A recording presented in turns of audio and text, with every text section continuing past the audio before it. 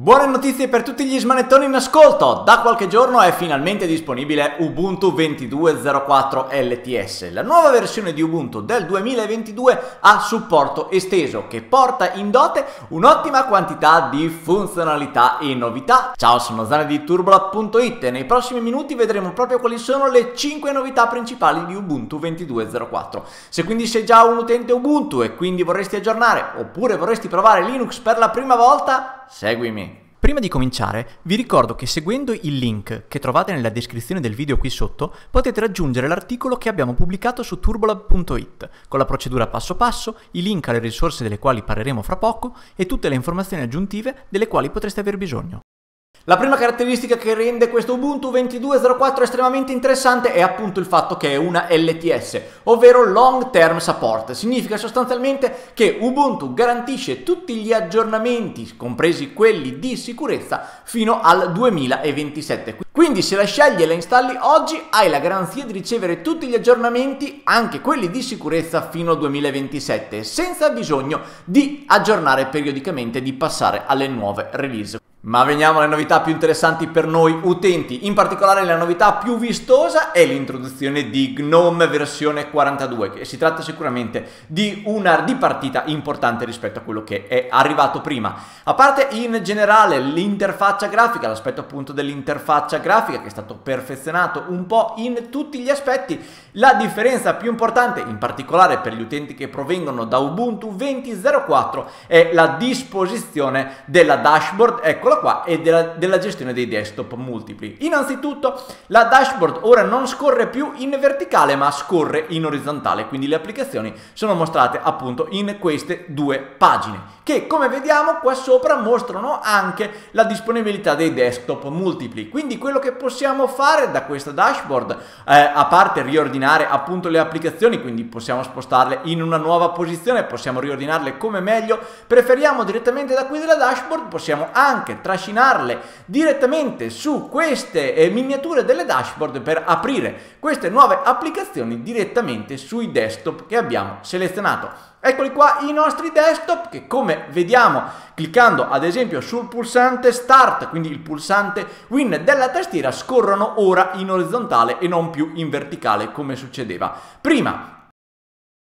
Ciao, scusa per l'interruzione, se il video ti piace ti chiedo di cliccare sul pulsantone mi piace che trovi qua sotto per farmelo sapere, per me è sempre davvero estremamente importante. Quindi grazie, grazie davvero se troverai un secondo per farlo. Se invece vuoi essere informato ogni volta che pubblico un nuovo video come questo sul mondo della tecnologia, non dimenticare di cliccare sul pulsante rosso, iscriviti che trovi qua sotto e sulla piccola campanella di fianco. Mi raccomando non dimenticare la campanella. Torniamo al video. Ad ogni modo comunque secondo me la eh, modalità di visualizzazione più interessante è sicuramente quella della dashboard che ci permette anche di trascinare le finestre come sto facendo facendo in questo modo da un desktop all'altro, cosa che personalmente trovo estremamente comoda. Questa impostazione riprende quindi da vicino quella di Windows e Mac OS, ma c'è un'altra chicca, ovvero facendo swipe con tre dita sul touchpad del nostro portatile potremo passare da un desktop all'altro esattamente come siamo abituati a fare in ambiente Windows o Mac. Ora, altre due chicche importanti di questa versione di Ubuntu, nell'angolo qui in alto a destra abbiamo innanzitutto la possibilità di selezionare direttamente il comando per riavviare che in precedenza era nascosto all'interno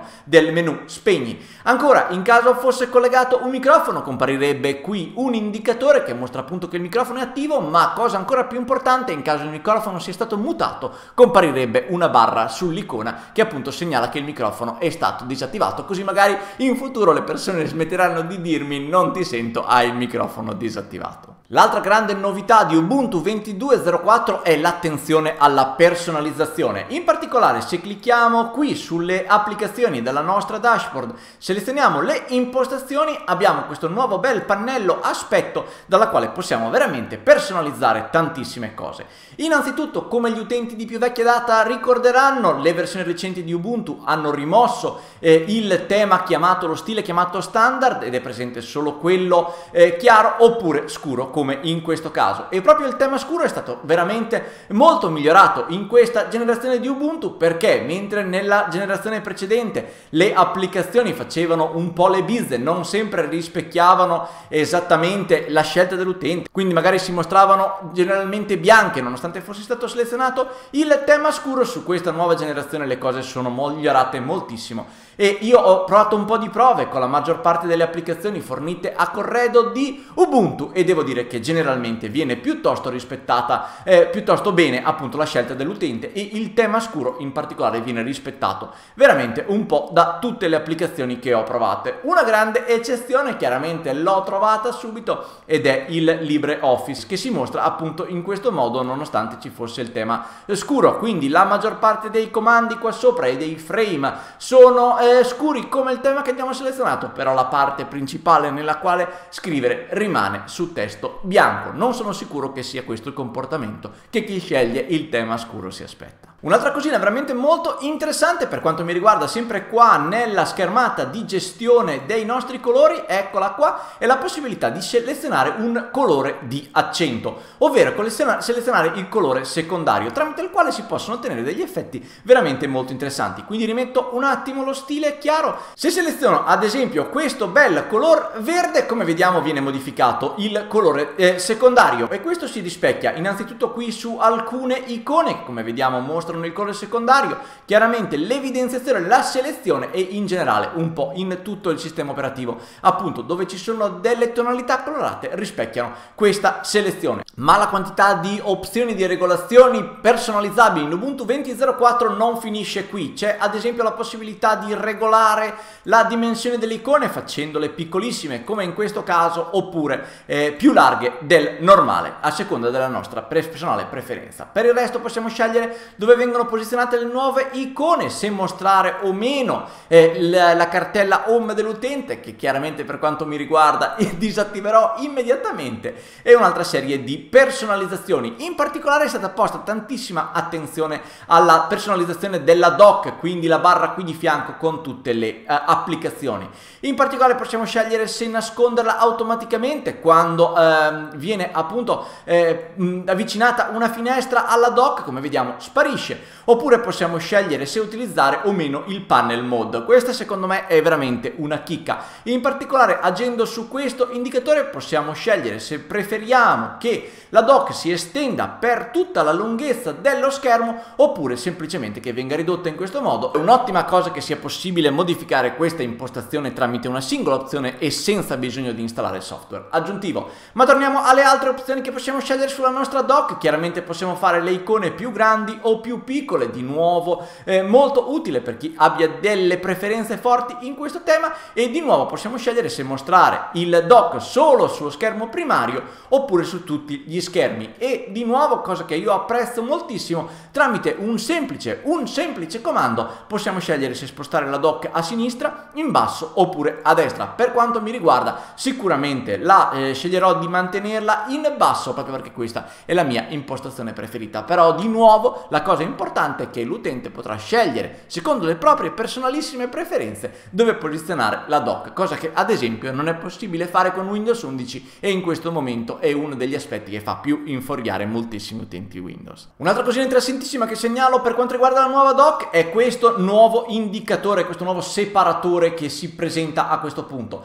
Che cosa significa? Sta a identificare le applicazioni come quelle che vediamo prima del separatore che sono state bloccate e rimangono sempre presenti sulla barra delle applicazioni, mentre tutte le altre applicazioni che non sono state bloccate ma sono attualmente in esecuzione vengono visualizzate dopo il separatore. È un'altra cosina che è stata, diciamo così, presa di ispirazione da macOS e che trovo estremamente utile proprio per aiutarci a capire quali applicazioni sono bloccate e, so e quali sono invece solo temporaneamente presenti nel dock. Sempre rimanendo in tema di personalizzazioni, per meglio adattare l'ambiente di lavoro al nostro personalissimo modo di lavorare, segnalo la possibilità di accedere appunto sempre alle impostazioni e a questa nuova sezione dedicata al multitasking, che è appunto il multitasking dell'utente, non del processore, quindi la possibilità di lavorare con più applicazioni contemporaneamente. Questo pannelletto è nativo di eh, GNOME versione 42 e che il team di sviluppo di Ubuntu ha preso e riportato tal quale all'interno del nostro desktop.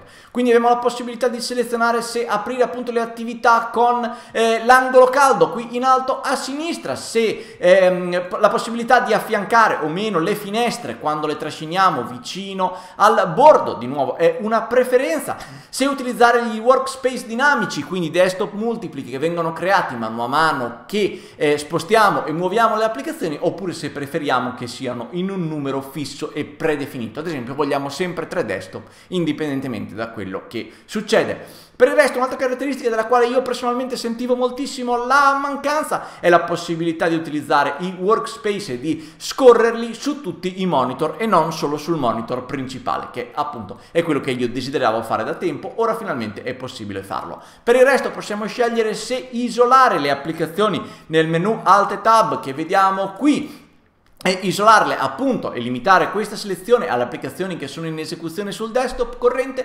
oppure a tutti i desktop di nuovo è una preferenza. E di nuovo possiamo scegliere se limitare la visualizzazione delle applicazioni eh, dal monitor corrente oppure poter scegliere da questo menu le applicazioni che sono in esecuzione su tutti i monitor. La quarta novità sono chiaramente l'aggiornamento delle applicazioni fornite a corredo del pacchetto. Partiamo da una cosina della quale non ho visto parlare molto in giro ma secondo me è estremamente importante. In particolare selezionando condivisione da qua e a questo punto possiamo scegliere di attivare il desktop remoto da questo pannelletto. Questo però è il desktop remoto inteso come protocollo RDP. Infatti storicamente Ubuntu ha sempre permesso di collegarsi in desktop remoto utilizzando il protocollo VNC che andava benissimo per l'amor di Dio ma era interessato da parecchie limitazioni. Una fra tutte è il fatto che non fosse crittografato, quindi i dati, tutti i dati scambiati fra la postazione locale e quella remota tra, che magari attraversavano internet o la rete wifi non protetta avvenivano senza crittografia,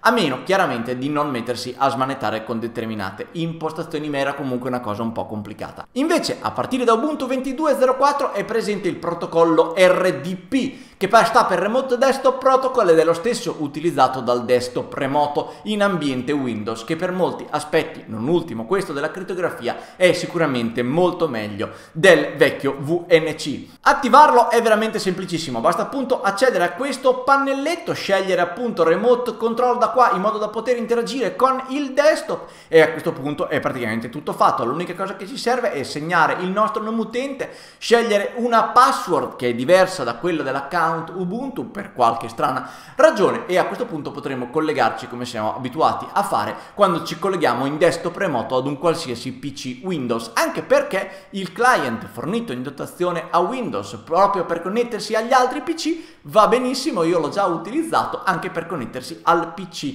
eh, Ubuntu e funziona veramente tutto davvero molto molto bene. Per il resto c'è il consueto aggiornamento della maggior parte dei pacchetti forniti in dotazione al sistema operativo, quindi LibreOffice, Thunderbird, Firefox sono tutte alle versioni aggiornate e anche a molte utility fornite a corredo del pacchetto GNOME. Ora qui il discorso è veramente molto spinoso perché GNOME 42 ha introdotto l'utilizzo del toolkit grafico GTK4 mentre invece il team di sviluppo di Ubuntu ha preferito mantenersi legato al GTK3. Un'altra cosa da sottolineare è che le due applicazioni nuove di GNOME 42 non sono presenti. In particolare GNOME 42 ha introdotto un'applicazione che si chiama Test Editor che sostituisce il vecchio Gedit e un'altra applicazione che si chiama Console che sostituisce il classico terminale. Ebbene, appunto per i motivi che ho appena detto, nessuna di queste due applicazioni sono presenti su questo Ubuntu 22.04 che continua a veicolare le versioni più recenti giudicate stabili